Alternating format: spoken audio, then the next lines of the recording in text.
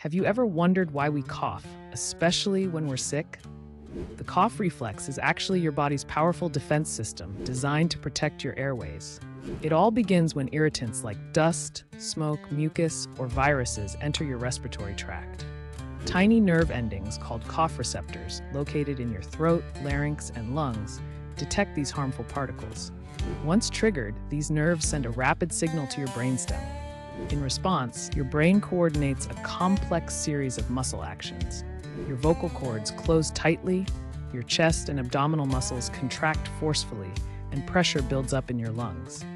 Then, your vocal cords suddenly open and air explodes out, carrying the irritant away. This sudden burst is the classic cough. Coughing is not just about clearing your throat, it helps protect your lungs from infection and keeps your airways clear. When you have a cold or the flu, inflammation causes your cough receptors to become extra sensitive, leading to more frequent coughing. Additionally, inflammation can affect your vocal cords, causing your voice to change or become hoarse. So, the next time you cough or notice your voice changing during illness, remember, it's your body's way of defending itself and helping you recover.